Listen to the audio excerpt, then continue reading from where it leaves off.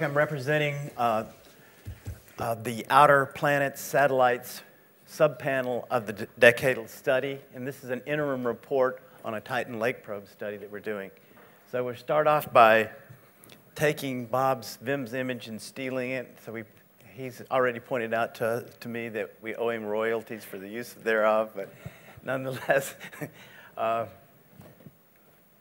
in this figure, this is a, a common element of several past studies, Titan Explorer, uh, Tandem, TSSM, has been to look at the methane cycle, both in its uh, short duration, the hydrological cycle, and also the long-term cycle for conversion of nitrogen and CH4 to heavier hydrocarbons in their deposition on the surface. So this is one of the cl clear themes that we are, we're going to carry forward in future missions. Now, in the Titan Explorer study uh, that Ralph led, we, we had four different areas where we thought landing was, uh, would be appropriate.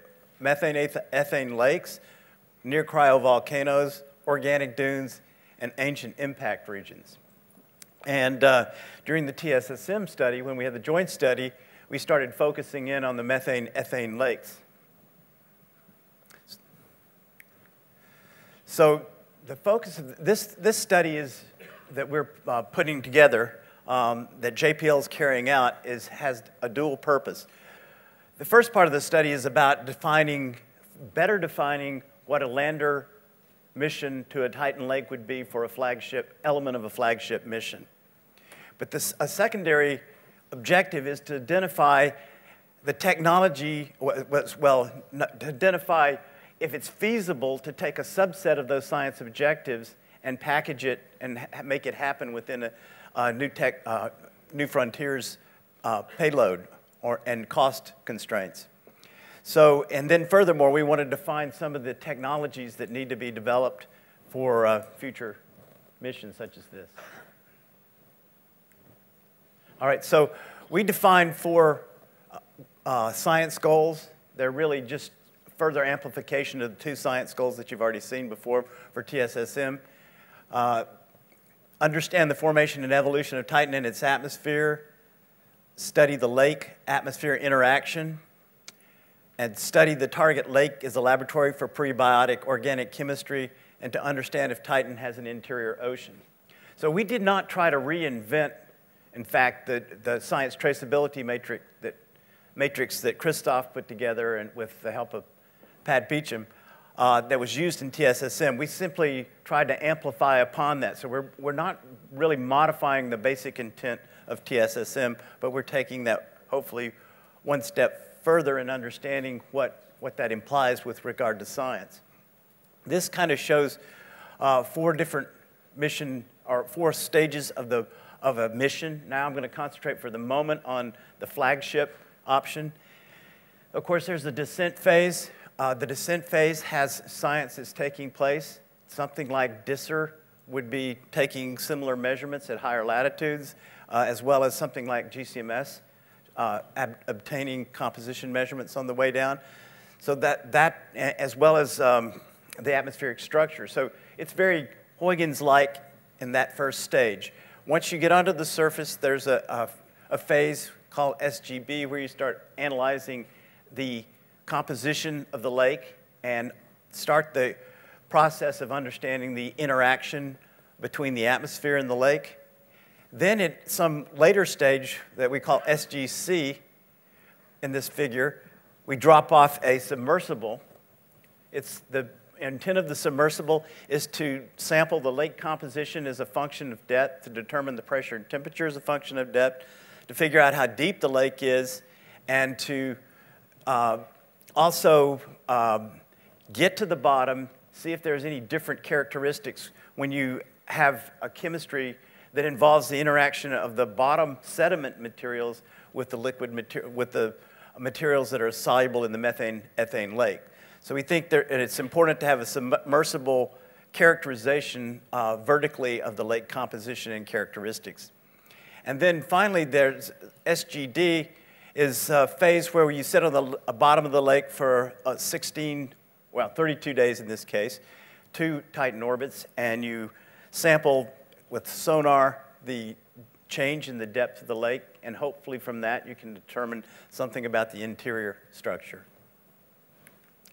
Okay, this is, I list again SGA, B, C, D, the basic goals, and then there's instrument packages that have been, uh, that are mapped to each one of those goals. And you, so you can see uh, LCA, uh, lake composition analyzer, so forth. So there's four different uh, instrument packages uh, that most important, well, there's a GC, GC, MS for and an FTIR for character characterizing the lake composition.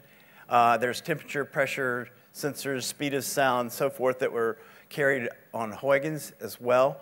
Um, there's a determination of the, well, there's a TDL, there's actually uh, a mast on this for meteorological uh, experiments where there's composition determination with a tunable diode laser spectrometer at three different levels to try to get interchange of flux of material.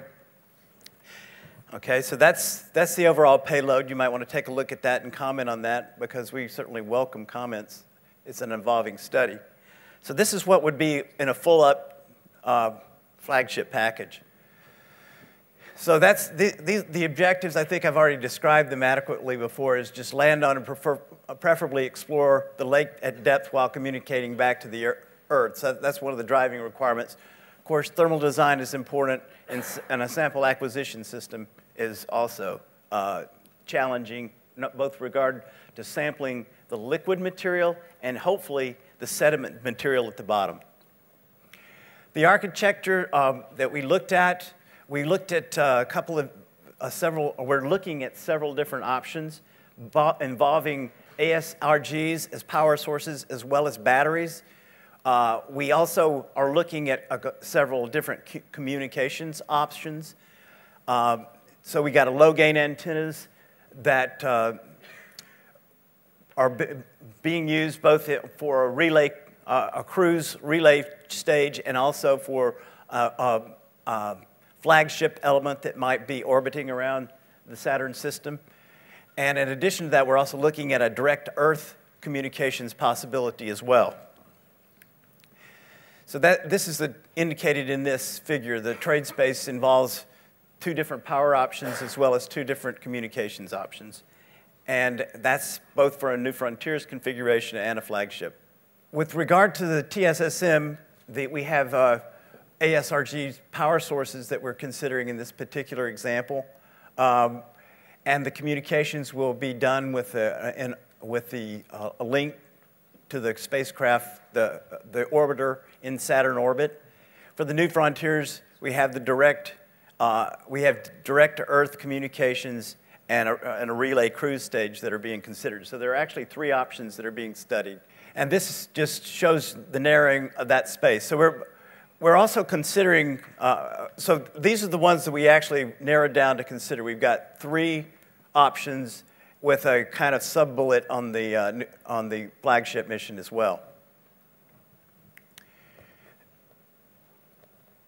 All right, now there's also in this configuration possibilities of having a floater only, a submersible only, a floater with a submersible, or floater with tethered probe. We haven't, we're not going to explore the flo floater with tethered probe at this point in, at, uh, at this point in time, but we are going to explore the options for both floaters and submersibles. This is uh, a flo uh, floater submersible uh, drawing, artist concept that JPL has put together. So there, the floater is the thing that looks like a natural gas tank on the top, and then there's a, a release of the, uh, the submersible from the bottom at some stage in the mission. And this is an a mast uh, that carries the met or does the uh, meteorological. Um, and this is another uh, floater submersible concept for the direct Earth uh, mission, showing the high gain gimbaled antenna for the direct Earth communication. Again, another artist drawing in that regard. This is uh, a schedule of the activities that are ongoing. The, um, the subpanel has worked with the last month to put together uh, complete a traceability matrix and to get the materials together to support a TeamX study by JPL for these three options that will take place next week at JPL. So uh, if you have any comments or inputs, I certainly would like to hear them. Uh, with regard to the New Frontiers, our objective is not to necessarily define the New Frontiers mission. That's not. Our objective is to define a new, uh, to uh, demonstrate the feasibility of a mission that has sufficient science value in it to fit within the New Frontiers payload. So we, are, we will descope the science to, the point, to a point that we think that it still has science value, but that it will not contain all the aspects of a flagship configuration. And I think that's the last one. So take any questions. Uh, maybe I didn't follow very well your presentation, but how do you, do you make sure that you land on a lake? Well, that, I mean, that is a serious consideration. Uh, you know, it's, we've, we've looked at the possibility, there's seasonal aspects to this too. If there's a 2022 launch, it gets difficult to communicate direct to the Earth from the north. And so we are actually looking at options that would allow us to target e either uh, Ontario Lacus or a northern lake. We don't know if that would be possible uh, at uh, Ontario Lacus or not, but uh, that, that study is part of what we're, we're looking at is the, what would be required. Basically, you, uh, Kim can probably address this, but you have to uh, make some decisions late in the game, right? To because I think this is problem no, problem number one. I think is uh, before making measurements, I think you must uh, get there first. You've got to land on the lake.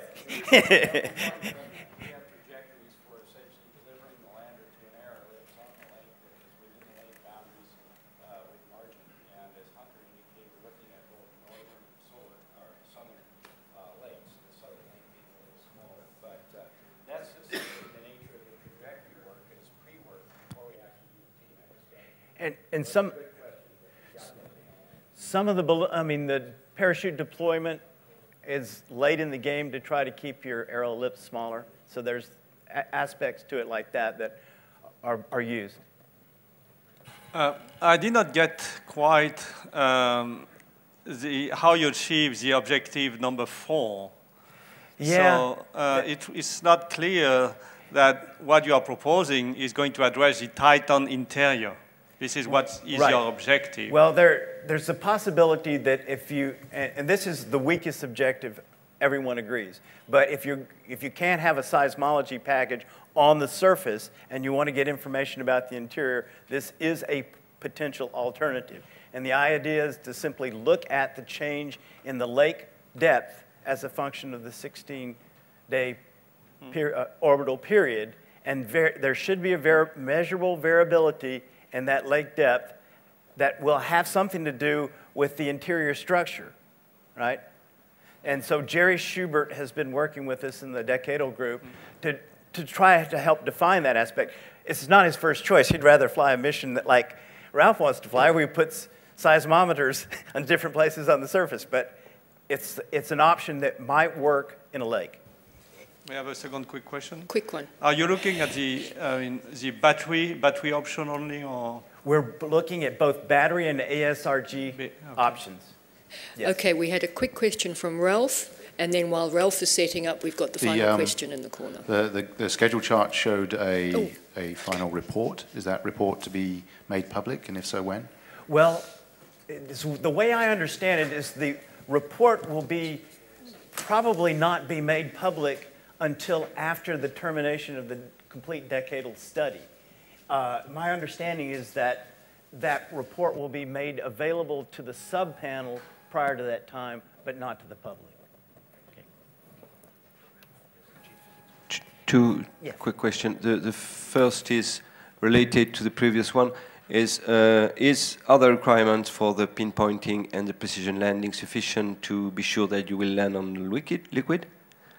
And second question, do you, uh, can you be sure that there will be liquid? this means uh, if the, the lake is empty, what are you doing? Right. Well, okay, let me try the first one, uh, respond to the first one again. In the earlier TSSM study that we looked at, we did look at putting the, a three sigma error ellipse within Kraken Mare, and it fit well. So that there seemed to be, an, you could target a lake or a sea or whatever. The, from the second point of view, you've got to worry that how, what the depth of the lake may be. May, if it's very shallow or if it's just a pile of, you know, it's just damp, you have to have a mission that will still function in that environment. So if you, if you want to make it work, whether it's in a lake or it's in some kind of marshy area as well. Your, your, data, your sample acquisition system will have to function for both. Hunter, I had one question uh, before we close this off, and that is, to me, it looks like you've got an extraordinarily important opportunity to do something in terms of analyzing the lake sediments. Have you guys thought about putting a uh, penetrator analyzer kind of uh, device on the bottom of your uh, craft, basically, so you could do some sort of chemical isotopic temperature measurements? You know, if you go down a meter, you're probing 10 to 100 million years in the past, roughly. Yeah, that's a very and, good and point. It's, and it's a real good experiment. It's hard to imagine going to Titan, going to a lake, without taking a crack at something like that to analyze the sediments. The one thing that we have considered so far is that there is a sample acquisition element that's been costed in this that is not well defined, but that would take at least a single sediment sample, and maybe a core is even a better idea, as you suggest, but some chemical analysis of the sediment itself.